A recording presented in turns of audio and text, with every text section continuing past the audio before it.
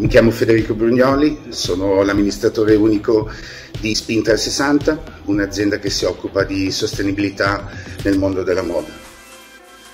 Molti nel mondo della moda parlano di sostenibilità. Noi vogliamo offrire un approccio diverso, vogliamo far sì che la sostenibilità sia all'interno di tutti i processi eh, aziendali, per cui nel nostro master si parlerà sia di sostenibilità dal punto di vista scientifico, ma anche nella realtà delle, delle cose, portando anche casi concreti e progettualità specifiche.